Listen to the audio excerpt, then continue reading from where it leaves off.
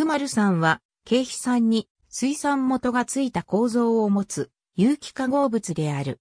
フェニル元の水酸元の位置によって、O クマル酸、M クマル酸、P クマル酸の3種類の異性体がある。この中で P クマル酸が天然に最も多く存在する。オークマル酸は別名、クマリン酸と呼ばれることもあるが、英語名クーマリックアシッドのクマリン酸とは異なる。P クマル酸は結晶性で硬く、水にはわずかしか溶けないが、エタノールやジエチルエーテルにはよく溶ける。P クマル酸には酸化防止剤の効果があるため、発がん性のあるニトロソアミンの生成を抑えることにより、胃がんのリスクを減らすと考えられている。P クマル酸が還元されてできる P クマリルアルコールは、シナピルアルコールやコニフェリルアルコールとともに、モノリグノールと呼ばれ、リグニンの主要モノマーである。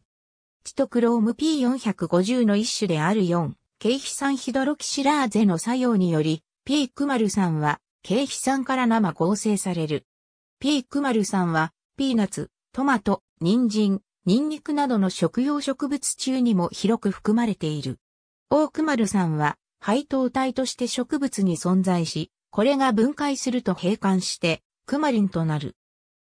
リアクションオブ P ハイドロキシーセナミックアシッドデリバティブズウィズナイトライト。アンドイッツレリバンスツーナイトロスミンフォーメーション。菊川清見袴田智子蓮沼牧子クレチ。ツタオ Journal of Agricultural Food Chemistry。31 780から5、 Antioxidant antigenotoxic, effects of plant cell wall hydroxycinnamic、アセズインカルチャード HT-29 セルズ、ファーガソンリネットアール、ズーシオツンハリスフィリップ J モレキュラー、ニュートリション